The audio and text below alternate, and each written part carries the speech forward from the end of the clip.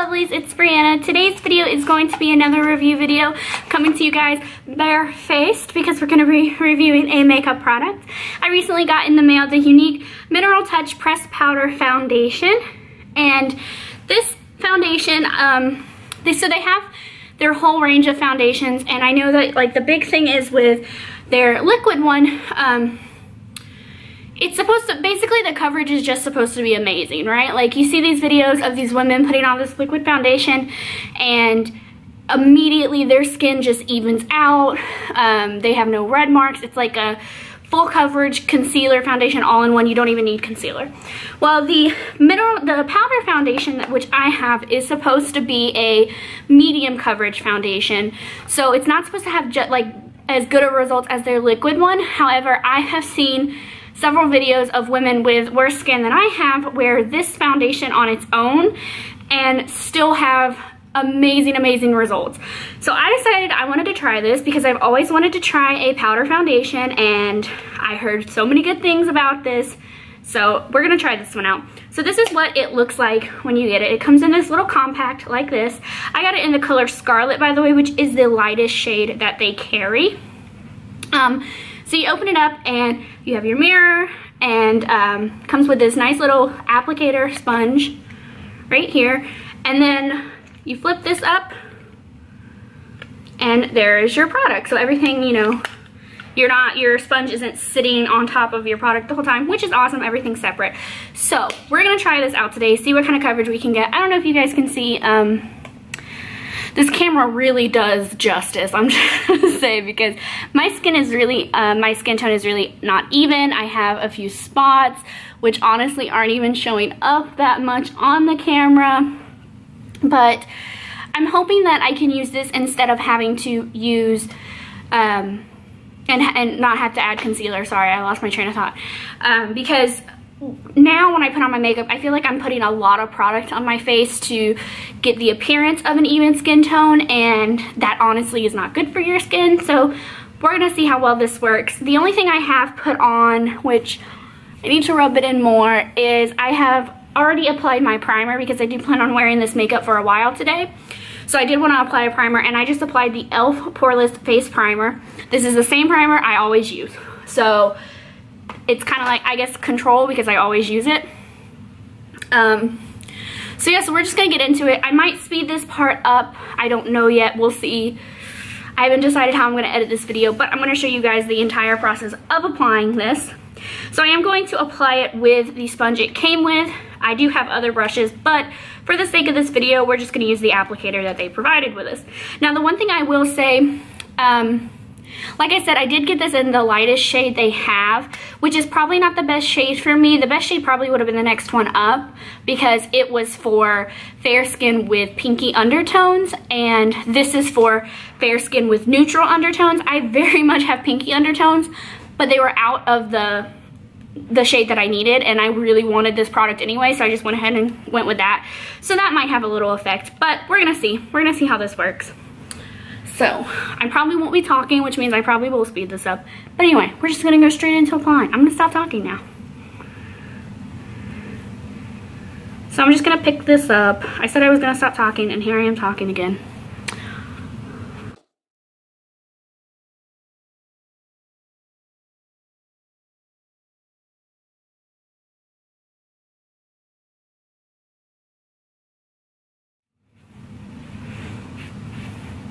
Can you see this horrible line, you guys?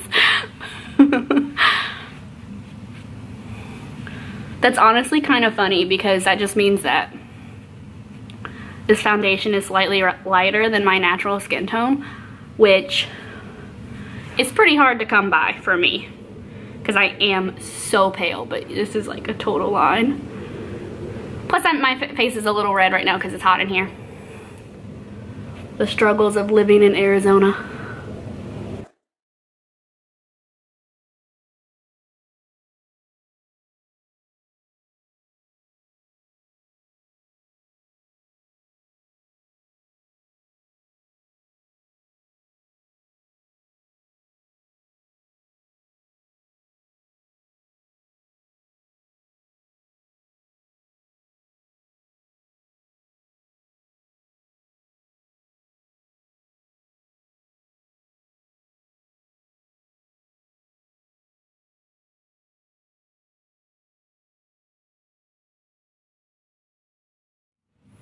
Okay, so we're gonna do a semi first impression real quickly.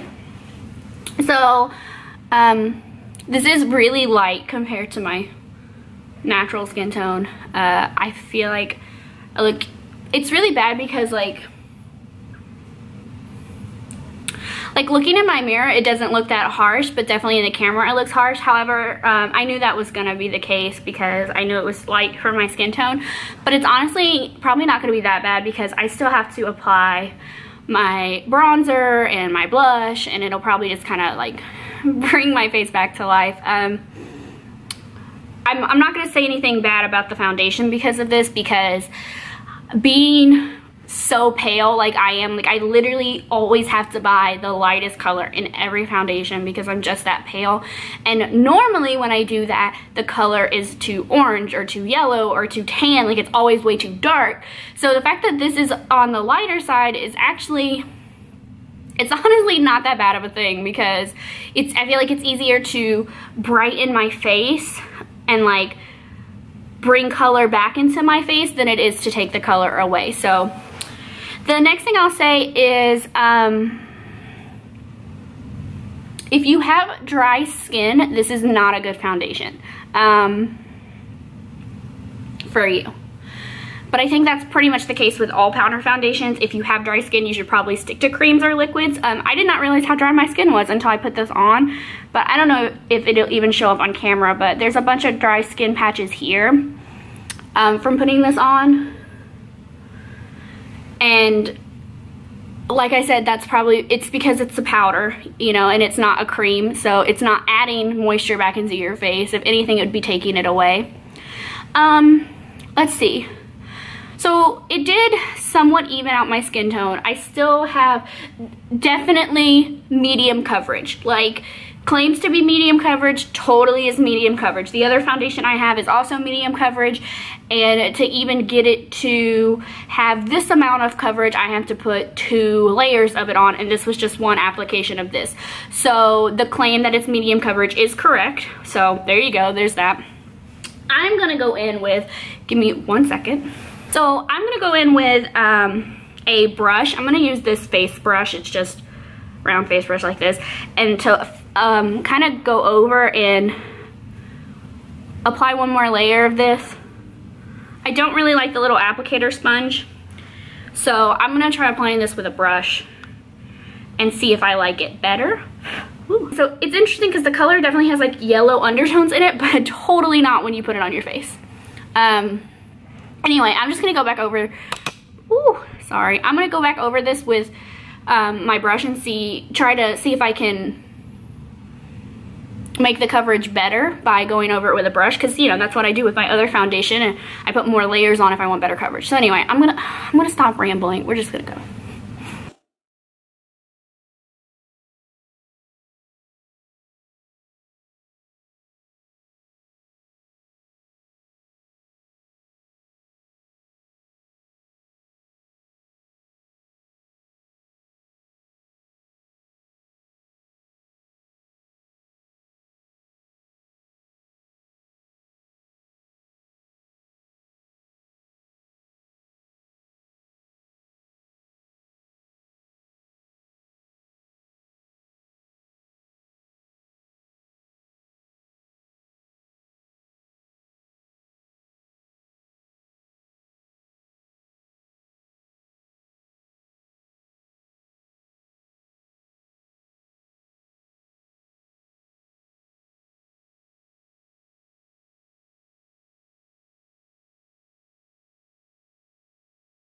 Okay, so,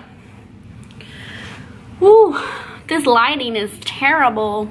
Um, so right off the bat, definitely much prefer the uh, application process and coverage process with the brush over the applicator sponge. So if you're gonna use this, I do recommend that. Still, same thing. If you have dry skin, like my cheek has dry skin on it, my nose has dry skin on it, don't use powder foundation, just this um, honestly, I wouldn't have, and I feel kind of bad like filming this video now in this condition because I did not realize my skin was as dry as it was because I feel like it's not doing the product justice. Um, wow, it covered up my earring. so layering, applying a second layer, it definitely does add a little bit more coverage. It covers up a little bit better, but once again, still staying pretty much medium coverage. Um, it blended out so much easier using this brush than it did using the sponge. I felt like I could, you know, because I felt like even on my patches that had dry skin, I felt like I could brush some of the product, ooh, brush some of the product away.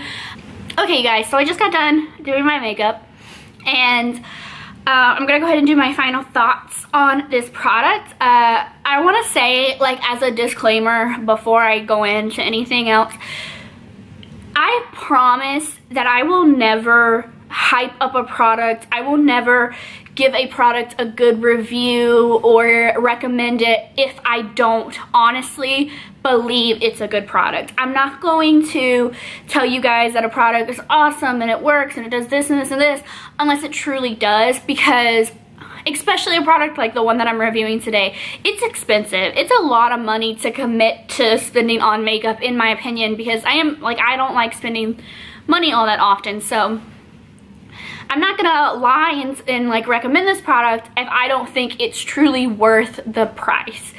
And so I just want that to kind of be a disclaimer um, so that you guys don't really have to worry about that if you choose to go off my recommendation. Um, I totally would recommend this product if you are looking for a good quality medium coverage foundation. I'm going to recommend it only as medium coverage. I know there are so, so, so many videos out there that advertise this product as being full coverage, but it's not advertised as full coverage on the company's website. The company advertises it as medium coverage, which is what I honestly believe it is. I'm not saying that the people who recorded those videos lied or did some like magic voodoo to make it full coverage.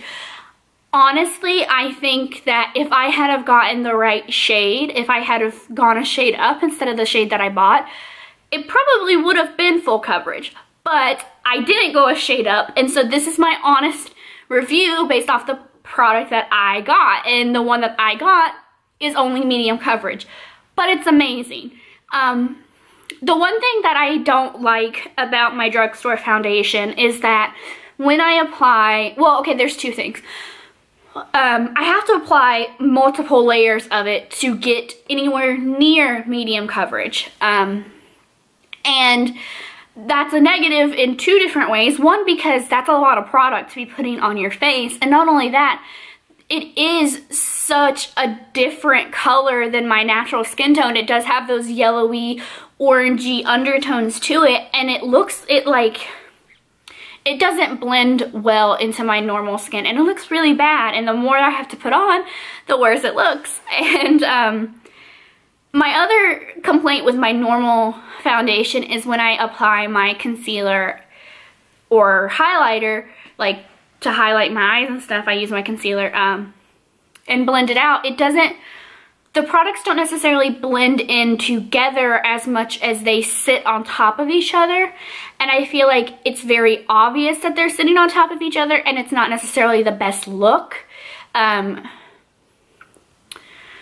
not for going out. Uh, like in person, I feel like it looks really, really bad. Maybe in pictures it looks okay, but the thing with this foundation, however, when I put on, I use my same concealer that I normally use, nothing special, and the colors blended beautifully like the two products blended together it doesn't look it did not look like they were sitting on top of each other so it didn't give off a cakey look and um in fact the under eye concealer that I put on actually went over a little bit of my dry skin patch from that I had that was very obvious from this powder and it almost kind of blended it out and you couldn't really tell it was there so that's something that I really do like about this product. I like the fact that other products are going to blend with it and you don't have to worry about it looking too cakey.